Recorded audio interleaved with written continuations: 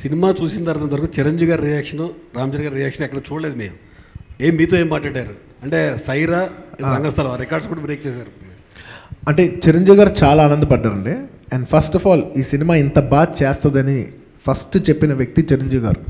ఆయన నేను ఎక్కడ షాక్ అయ్యానంటే మొన్న కూడా నైట్ మా నైట్ మేము ఇద్దరమే ఉన్నాం. మేము ఇద్దరే ఉన్నాం. నేను తిరుక్కంగా నేను మా డాడీతో కూడా షేర్ చేసుకుని షాక్ ఉంది. చిరంజీవి గారికి ఎంత ఎక్స్పీరియన్స్డ్ పర్సన్ ఆయన ఒక్కళ్ళే ప్రివ్యూ థియేటర్లో చూశారు. సినిమా అప్పటికి రిలీజ్ ముందు ఫస్ట్ డే. అప్పటికి సినిమా మ్యాగ్నిట్యూడ్ డే ఉందో కూడా ఎవరికి తెలియదు ఏదో పాజిటివ్గా ఉందంటానే ఆయన ఎన్ని ఉంటారు అంతే. ఒకటే రోజు మధ్యాహ్నం. మధ్యాహ్నం షో వేస్తే ఆయన చూసి ఆయన ఒక్కలే థియేటర్లో చూశారు. Just hardly three four family members ఎవరో ఉన్నారు.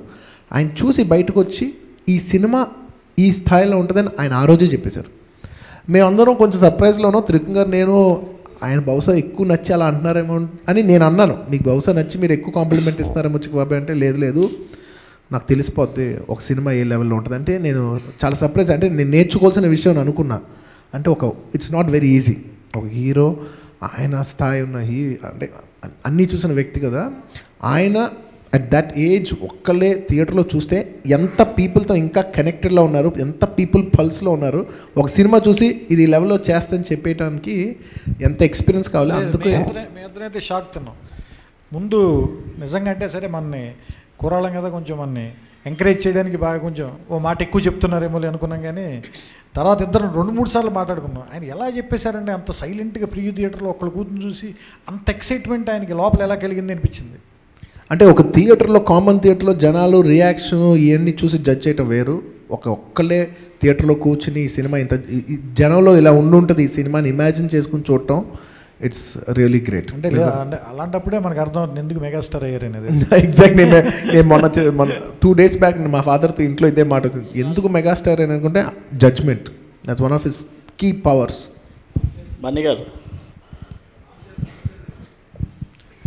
ఇంకా తను యాక్చువల్లీ అబ్రాడ్ వెళ్ళాడు. నాకు నాకు ఫోన్ చేశారు రామచంద్ర గారు. బన్నీ గారు? ఆయన ఈ ఫెల్ట్ బన్నీ గారు ఒక గ్యాప్ వచ్చింది గ్యాప్ వచ్చింది అని చాలామంది మిమ్మల్ని అడిగారు. అవును. చాలా పెద్ద గ్యాప్ తీసుకొని పెద్ద హిట్ కొట్టారు. థ్యాంక్ యూ దాని గురించి అంటే మీరు ఆ గ్యాప్ తీసుకున్న వాళ్ళ గురించి మీరు ఏం సమాధానం చెప్తారు? అడిగిన వాళ్ళకు గ్యాప్ ఇవ్వలేదు. వచ్చింది. ఇంకా ఇంకా రాదు కూడా. ఇంకా రాదు కూడా. ఈ వీడియో మీకు నచ్చినట్లయితే లైక్ చేయండి షేర్ చేయండి. ఇలాంటి మరిన్ని సరికొత్త సినిమా వీడియోల కోసం ఛానల్ని సబ్స్క్రైబ్ చేయండి. అలాగే ఇక్కడ ఉండే ఈ గంట సింబల్ని క్లిక్ చేయండి. మేము అప్డేట్ చేసే ప్రతి వీడియో నోటిఫికేషన్స్ మీకు వచ్చేస్తాయి.